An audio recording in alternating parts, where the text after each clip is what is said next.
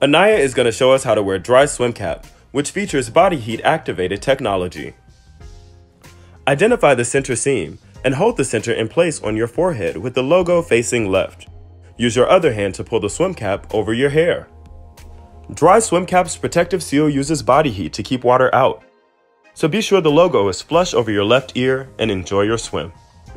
Bye-bye.